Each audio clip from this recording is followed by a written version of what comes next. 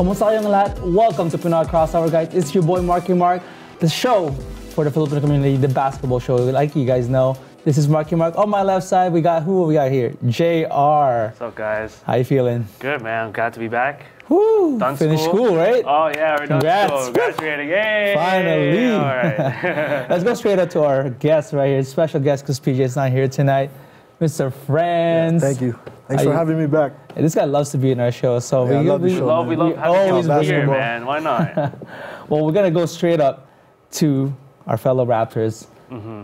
What are you guys thought so far about the whole series against Washington? What has been going on? What have you noticed so far? What did you like? What did you not like so far? Friends.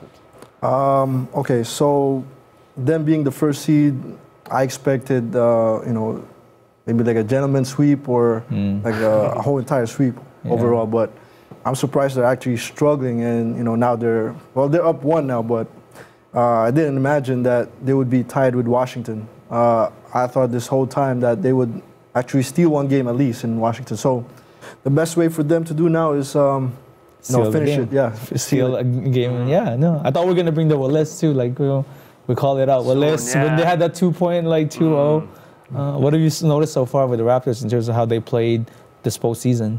Well, I like what they've been using with not only the starters with DeMar DeRozan and Kyle Lowry, but JV, as always, has been an, a very huge impact throughout the whole playoffs, past years as well, including this series in, against Washington, and just like the recent game in Game Five, the Dwane Casey allowed JV to play a lot of minutes uh, in that fourth quarter, especially with when the, one of those two two or three plays where JV actually poke John Wall's pocket, stole the ball, Oh, that was gave a big DeLon Wright, steal. DeLon Wright to DeMar DeRozan for the dunk. JV was a, a huge impact. You know, it, it's it's great to see JV playing well. Mm-hmm. Um, bench mob, you know, they, they've been struggling here and there. Uh, there's no Fred VanVleet. Um, but DeLon Wright was stepping up a huge quarter for him in the fourth quarter in, in game five.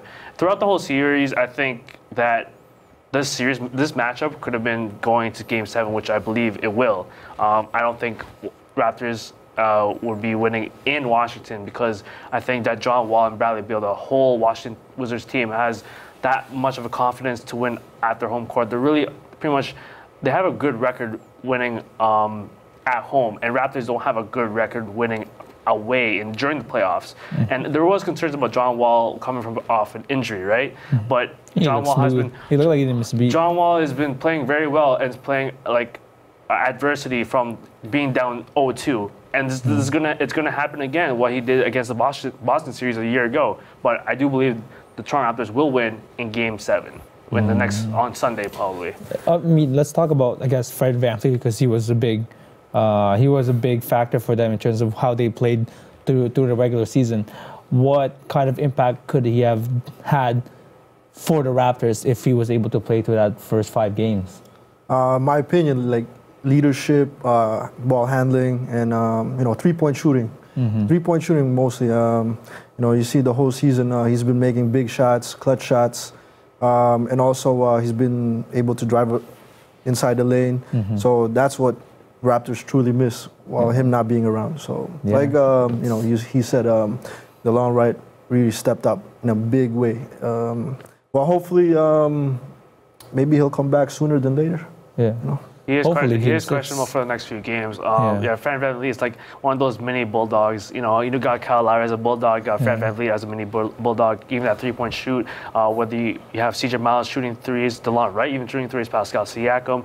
Uh, Fred VanVleet actually he pushes the ball, makes it gets it quick off the court, and he, like he helps he helps the team. He gives a lot of boost, not not just himself, but like the whole bench. Uh, they just just need to find consistency. I know it's it's only the benches in in their playing together. It's kind of their first time playing together in, in the playoffs. So we, we do need um, those guys to step up a little bit more, and probably even the even the backcourt too, like DeMar DeRozan and Kyle Lowry. They're they're in their playing fourth quarters True. throughout the whole series. They, they haven't been playing well in the fourth quarter. They've just led on towards the, the it's other the players. be- it's the other uh, other role players that's stepping up for them in the 4th Mm-hmm. quarter.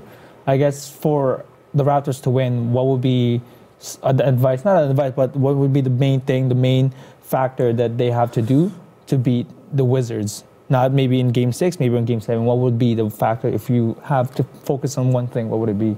Uh, they have to focus on defense. I mean, that's what wins uh, games, right? So once they uh, handle the defense, then you know they already have offensive power this whole season. So uh, once they um, steal the ball, block shots, and you know rebound, um, in my opinion, they'll win the game with no problem.